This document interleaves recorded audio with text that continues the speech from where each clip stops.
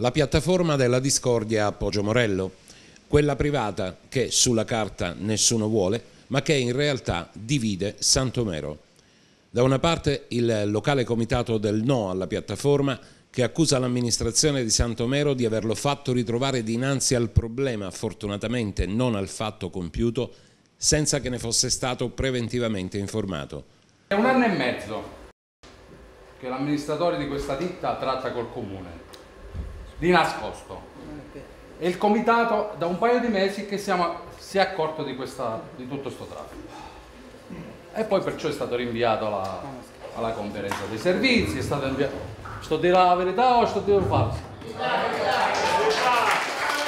marzo, in marzo ed entra l'amministrazione. Loro volevano fare la discarica, non so se è ancora in tempo a bloccarlo. Non è un problema di, un problema di onestà, di correttezza. Se non esisteva il comitato, questa cosa qua, qui stasera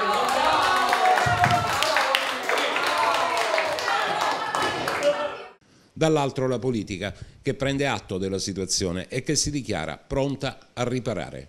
Io credo che fare venire qui questa sera, prendere un impegno, metterci la faccia come abbiamo fatto, come abbiamo fatto, dire e ribadire il nostro no, il no dell'amministrazione comunale, il no dei cittadini che io rappresento davanti alla regione Abruzzo sia stato un segno. Ho sempre detto che il progetto comunque l'amministrazione lo deve valutare, valutare non vuol dire approvare. Quindi non vuol dire che noi eravamo d'accordo, noi abbiamo fatto tutto quello, cioè almeno abbiamo fatto tutto quello, tutto quello, noi avevamo fatto tutto quello che abbiamo detto.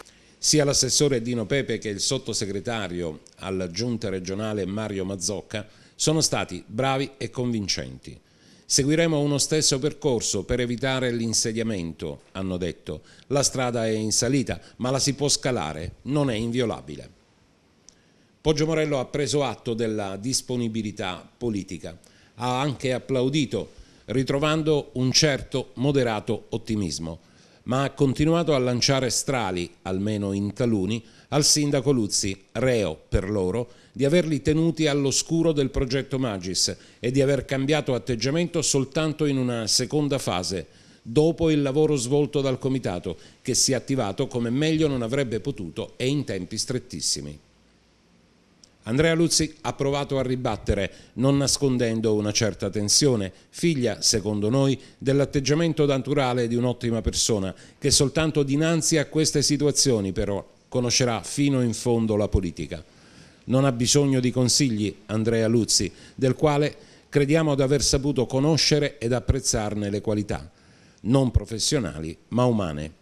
E ci piace ribadire che in qualsiasi vicenda bisogna comunque e sempre guardare avanti. Il futuro dice che la Regione farà di tutto per bloccare la realizzazione dell'impianto di trattamento rifiuti. Il sindaco di Santomero anche la provincia, che al prossimo tavolo, tra un mese, sarà seduta a fianco dell'interlocuzione politica di ieri, non potrà che accodarsi.